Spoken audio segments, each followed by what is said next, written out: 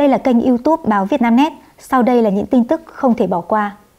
Nhánh cây bị gãy đè hai người chết ở công viên Tào Đàn rơi từ độ cao 25 mét. Trưa nay ngày 9 tháng 8, Trung tâm Quản lý Hạ tầng Kỹ thuật, Sở Xây dựng Thành phố Hồ Chí Minh có thông tin chính thức về vụ cây xanh gãy nhánh ở công viên Tào Đàn. Theo đó, khoảng 7 giờ cùng ngày, nhánh cây dầu thuộc loại 3, cây đã trưởng thành, rơi từ độ cao khoảng 25 mét xuống, làm hai người chết và ba người khác bị thương. Trung tâm Quản lý Hạ tầng Kỹ thuật cho biết, chu vi nhánh gãy khoảng 1,2 mét, chiều dài khoảng 10 mét. Qua quan sát ban đầu, nhánh gãy có khiếm khuyết bên trong nhưng không thể hiện bên ngoài, cành tươi và lá xanh bình thường. Sau khi sự cố xảy ra, Trung tâm và công ty công viên cây xanh phối hợp với công an quận 1 cùng lực lượng y tế xử lý hiện trường, đưa nạn nhân đi cấp cứu. Các đơn vị đã liên hệ với thân nhân nạn nhân và sẽ lo hậu sự cho hai người tử vong. Công an đã khám nghiệm hiện trường, đang điều tra làm rõ vụ việc. Lời kể nhân chứng vụ rơi cành cây trong công viên Tao Đàn. Nhánh cây cổ thụ có đường kính khoảng 20cm, rơi từ độ cao khoảng 15m xuống, trúng nhiều người đang ở công viên Tao Đàn, quận 1, thành phố Hồ Chí Minh, khiến nhiều người thương vong. Khoảng 7 giờ ngày 9 tháng 8, công viên Tao Đàn, đường Huyền Trân Công Chúa, quận 1, thành phố Hồ Chí Minh, có nhiều người đang vui chơi, tập thể dục. Bất ngờ, nhánh cây cổ thụ với đường kính khoảng 20cm, rơi từ độ cao khoảng 15m xuống, trúng nhiều người phía dưới. Nhiều xe cứu thương được điều tới hiện trường. Người dân chứng kiến cho hay có 5 người bị nhánh cây rơi trúng, trong đó hai người tử vong tại chỗ, ba người nhập viện cấp cứu. Tại thời điểm xảy ra sự việc, ở khu vực không có mưa hay gió lớn. Cảnh sát cùng các lực lượng chức năng đang phong tỏa hiện trường, điều tra nguyên nhân. Đơn vị chuyên môn cũng có mặt dọn dẹp nhánh cây rơi xuống công viên. Lúc bây giờ khoảng độ ờ, chắc độ tầm ờ, hơn 6 giờ gì đấy. Mình nghe thấy cái dầm một cái, thì là, cả khu chúng tôi thì là mới có một hai nhà dãy này mới có độ ba nhà dậy thôi. Thấy có một người là chết chết hẳn nằm là họ che cái bạt lên rồi.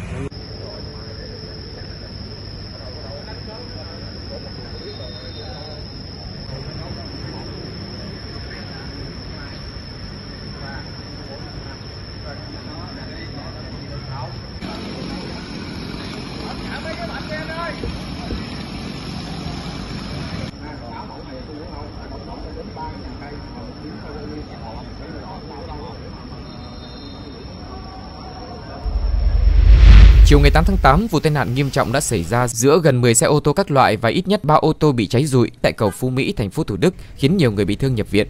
Thông tin ban đầu, khoảng 15 giờ cùng ngày, các ô tô đang lưu thông qua cầu Phú Mỹ theo hướng từ quận 7 đi thành phố Thủ Đức. Khi vừa xuống hết dốc cầu Phú Mỹ thì xảy ra tai nạn liên hoàn giữa gần chục ô tô các loại với nhau.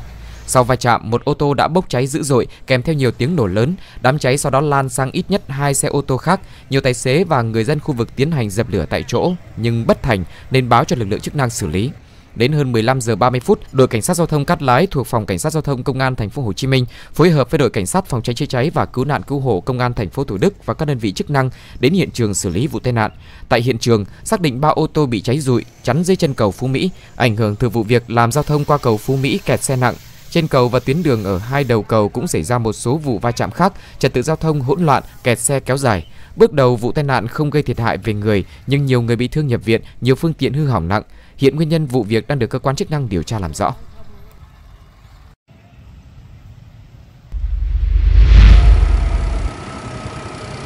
Khuya ngày 8 tháng 8, hàng chục công nhân xuyên đêm thi công những hạng mục cuối cùng của hầm chui Trần Quốc Hoàng Phan Thúc Duyện, quận Tân Bình, thành phố Hồ Chí Minh, kết nối với nhà ga T3, sân bay Tân Sơn Nhất để đưa vào thông xe vào ngày 10 tháng 8.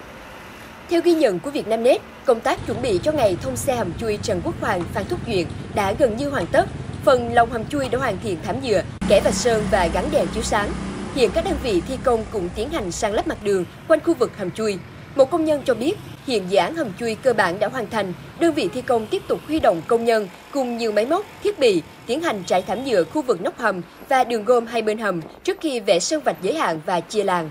Em thấy thi công lâu rồi, cũng hơi phì tại vì nhiều khi là chặn đường rồi tụi em không có đi vô được, chặn hai bên đường rồi cũng vô cũng khó khăn rồi bụi rồi rác cái kiểu cái kiểu hả tại vì cái đường này chiều là người ta hay chạy qua chạy lại ở đây còn khi mà thi công ở đây là người ta chạy đường hẻm đây luôn là nó, nói chung là nó ảnh hưởng nhiều cái là nó kẹt hai bên thì nhiều khi là mình đi cái đường nhỏ xíu nhưng mà nó kẹt một 15 20 phút luôn em cũng mong là công trình này nó thi công đúng tiến độ. Em nghĩ nếu mà xong thì chắc là sẽ bớt kẹt xe hẳn ra, tại vì nó cũng đường cũng lưu thông được hai bên. Thì xe cũng có nhiều đường để đi hơn, di chuyển hơn là thay vì là phải dồn vô hai cái đường nhỏ đó. Đường nó đẹp hơn, nó sạch sẽ hơn nó khang trang hơn thì người dân đi lại cũng thuận tiện hơn. Thì em ở đây thì em thấy là công nhân ở đây họ làm vất vả lắm họ làm xuyên đêm tới sáng. Dạ, cũng để cố gắng hoàn thiện công trình sớm hơn cho người dân có thể đi lại được.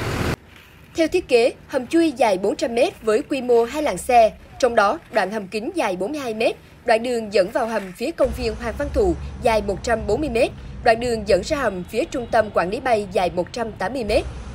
Đại diện Ban Quản lý Dự án Đầu tư xây dựng các công trình giao thông thành phố Hồ Chí Minh, Ban Giao thông cho biết, ngày 10 tháng 8, hầm chui Trần Quốc Hoàng Phan Thúc Duyện kết nối với nhà ga T3, sân bay Tân Sơn Nhất sẽ thông xe.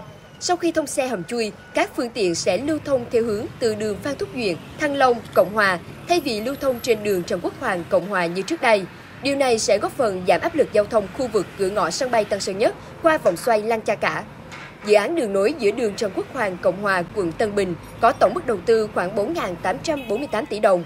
Mục tiêu của dự án này là xây dựng tuyến đường nối giữa đường Trần Quốc Hoàng với đường Cộng Hòa, kết nối trực tiếp với nhà ga T3 của cảng hàng không quốc tế Tân Sơn Nhất. Riêng hạng mục hầm chui đường Phan Thúc Duyện, đường Trần Quốc Hoàng sắp thông xe có kinh phí khoảng 200 tỷ đồng. Sau khi thông xe hầm chui này, các phương tiện có thể đi từ đường Phan Thúc Duyện, Thăng Long, rẽ trái ra Cộng Hòa, thay vì tập trung về vòng xoay Lan Cha Cả như trước kia. Dự án đường nối giữa đường Trần Quốc Hoàng, Cộng Hòa, quận Tân Bình là một trong những dự án giao thông trọng điểm của thành phố Hồ Chí Minh. Con Tum lại xảy ra động đất có trận mạnh 4.2 độ Richter. Trong ngày mùng 8 tháng 8 và sáng mùng 9 tháng 8, tại Con Tum xảy ra 6 trận động đất. Trong đó có trận mạnh đến 4.2 độ Richter khiến người dân các tỉnh lân cận cảm nhận được rung lắc. Theo thông tin từ Viện Vật lý Địa cầu, trong ngày mùng 8 tháng 8 đến 8 giờ 19 sáng mùng 9 tháng 8, tại huyện Con Plong, tỉnh Con Tum xảy ra 6 trận động đất. Trong đó có trận mạnh đến 4.2 độ Richter khiến người dân ở các tỉnh lân cận cảm nhận được sự rung lắc.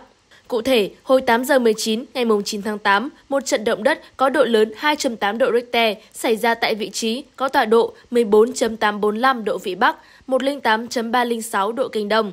Độ sâu chấn tiêu khoảng 8,1 km. Cấp độ rủi ro thiên tai cấp 0. Trước đó, hồi 22 giờ 30 ngày 8 tháng 8, trận động đất có độ lớn 4.2 độ Richter xảy ra tại vị trí có tọa độ 14.849 độ Vĩ Bắc, 108.266 độ Kinh Đông độ sâu chấn tiêu khoảng 8,2 km. Trận động đất này cũng được đánh giá cấp độ rủi ro thiên tai cấp là 0. Theo thống kê của Viện Vật lý Địa cầu, tính từ đầu năm 2024 đến nay, ở Con Tum đã xảy ra hơn 200 trận động đất. Trong đó, trận động đất mạnh nhất xảy ra ở khu vực này vào trưa ngày 28 tháng 7 với độ lớn 5.0 đã gây rung lắc mạnh cho các tỉnh thành miền Trung, Tây Nguyên. Tiến sĩ Nguyễn Xuân Anh, Viện trưởng Viện Vật lý Địa cầu cho biết, đây là những trận động đất kích thích gây ra bởi hồ chứa thủy điện. Trung tâm báo tin động đất và cảnh báo sóng thần, Viện Vật lý Địa cầu vẫn đang tiếp tục theo dõi các trận động đất này.